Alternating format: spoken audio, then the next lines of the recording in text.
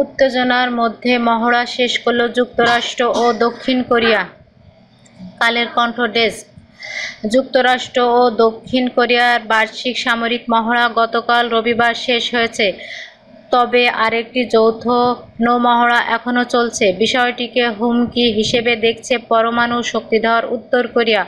সাম্প্রতিক সময় নানা কারণে দক্ষিণ কোরীয় উপদ্বীপে উত্তেজনা বেড়েছে। আভাস পাওয়া যাচ্ছে, উত্তর কোরিয়া তাদের দূরপাল্লার ক্ষেপণাস্ত্র পরীক্ষা বা ষষ্ঠ পরমাণু পরীক্ষা প্রস্তুতি নিচ্ছে।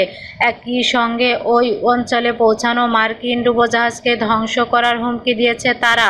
এদিকে পিয়ংয়ের বিরুদ্ধে সামরিক ব্যবস্থা গ্রহণের বিষয়টি নাকচ করে দিচ্ছে না ওয়াশিংটন। দক্ষিণ কোরিয়ার প্রতিরক্ষা মন্ত্রণালয় জানায়, ফল ইগল নামে বৃহত্তম সামরিক মহড়াটি নির্দিষ্ট সময় অর্থাৎ গতকাল শেষ হয়েছে। এই মহড়ায় দক্ষিণ কোরিয়ার বিশ হাজার এবং যুক্তরাষ্ট্রের দশ হাজার সেনা অংশ নেয়। গত মাসেই শেষ হয়েছে তাদের আরেকটি যৌথ সামরিক মহড়া। দুটি মহড়ার এমন এক সময় পরিচালক করা হলো যখন উত্তর কোরিয়ার সঙ্গে তুমুল উত্তেজনা চলছে। প্রতিটি মহড়া শুরুর সময় উত্তর কোরিয়া দাবি করেছে, অভিযান চালানোর জন্য উস্কানিমূলক এসব মহড়া চালাচ্ছে দক্ষিণ কোরিয়া ও যুক্তরাষ্ট্র।